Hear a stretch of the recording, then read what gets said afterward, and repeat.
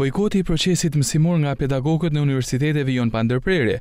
Edhe në Universitetin e Shkodrës, kjo javë nisi me sallat e boshatisura të auditorëve thuajse në gjitha fakultetet. Kreu i Sindikatës së Punonjësve të Universitetit të Shkodrës, Peter Saraçi, shprehet se kanë vendosur që protestën e tyre ta bëjnë në Shkodër, për shkak edhe të kostove financiare që duhen për të shkuar në Tiranë, ku u zhvillua protesta kombëtare. Sot nuk jena në Tiranë vetëm për shkak se kërkohet një organizim në qytetin e Shkodrës dhe është e vështirë edhe organizimi, spostimi në Tiranë, ka kosto financiare dhe është e vështirë për me realizu për, për gjithë pedagogët. Për këtë jam këtu në Shkodër, kam marrë miratimin e sindikatës për këtë gjë.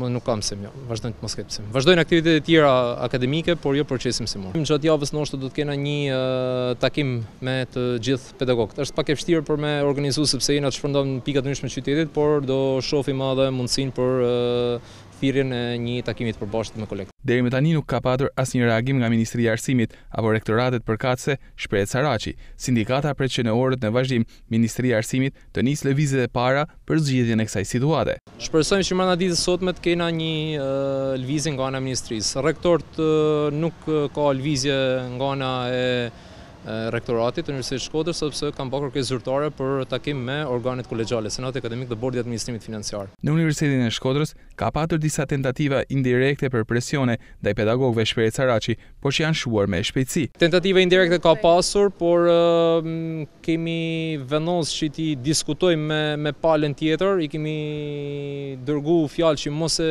bani diçka të tillë dhe Besoj se kena arrit një një farë dakordësie që mos të cënojnë të drejtën e kolegëve për me protestu. Kreu i sindikatës në Shkodër thotë se kanë mbështetjen edhe të studentëve, ndërsa kërkon mirëkuptimin e tyre, sepse bojkoti u shërben edhe atyre. I kërkoj ndjesë biles studentëve, por i bëj thirrje, e di që është ndoshta e vështirë për me kuptu një gjë të tillë, Por nëse studentët e vitit parë ndoshta nuk kuptojnë, vitet e tjera e besoj se na bashkohen me këtë gjë, sepse janë të parë që penalizohen nga mosfunksionimi i strukturave dhe nga veprimet diskriminuese që ka sjellë ligji i arsimit të lartë. Tarifa Problematika në ofrimin e shërbimeve për studentët, mungesën e një strukture për me kthy përgjigje e kështu me radhë. Është e paqartë se si do të zgjidhet kjo situatë, duke qenë se pjesa më e madhe e fakulteteve në universitetet publike shqiptare nuk po zhvillojnë mësim.